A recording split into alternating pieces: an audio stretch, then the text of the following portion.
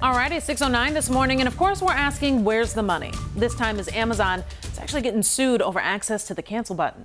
So the Federal Trade Commission, or FTC, says Amazon makes it too hard to cancel subscriptions. And the lawsuit takes it a step farther, adding the online retailer actually tricked customers into signing up for auto renewing services. Here's three things to know. One, Amazon is not being singled out here. The FTC does this often, investigating the cancellation process for all types of businesses. That's like cosmetics, newspapers, gyms.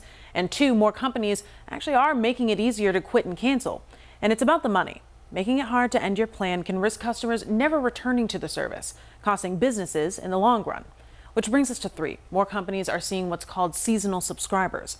So folks will pick up the plan when their favorite show is on and then cancel after watching. That's why we're asking this morning have you ever forgotten to cancel a subscription? Make sure you text us at 704 329 3600. Guys, this is so funny because yesterday I realized that my gym account has been charging me twice every month for the past like four months. Yes, that happened yes. to us when we moved here. It was like a year, and I was like, oh my gosh. And you don't get it back.